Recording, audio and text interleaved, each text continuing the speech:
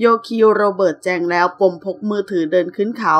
ฝากถึงการสืบค้นความจริง วันที่ 18 มีนาคม ที่พุทธสถานวิโมกศิวาลัยสวนพึ่งราชบุรี ซึ่งเป็นสาขาของวัดท่าไม้ หลวงพี่อุเทน เจ้าอาวาสวัดท่าไม้แถลงข่าวพร้อมโยคีปอ และโยคีโรเบิร์ตกรณีถูกตำรวจอ้างนายสั่งมาปิดล้อม และสะกดรอยตามขณะทุดงเขากระจม ช่วงหนึ่งโยคีโรเบิร์ตเปิดใจว่า ตกใจสิ่งที่เกิดขึ้น ดีใจได้เดินบนเขา แต่ไม่สามารถปักกรดได้ เดินกลับมาได้ด้วยเท้าบำเพ็ญเพียรอาจารย์บอกไม่พักนะ ไปต่อจังหวัดกาญจนบุรีเลย ส่วนตัวไม่ขอฝากถึงพบตร